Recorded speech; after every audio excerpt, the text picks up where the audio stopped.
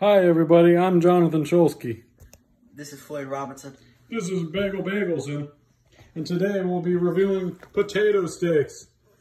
Sour cream and onion. All right, Okay, let's, Floyd. Uh, let's get Bagel, bagel. go first.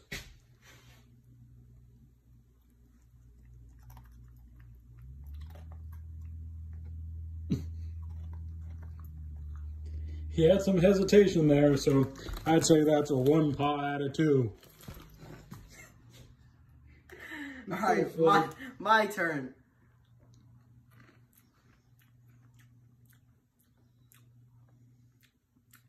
Yum. This is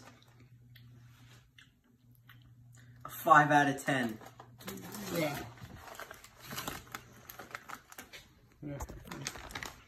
Okay, let's see.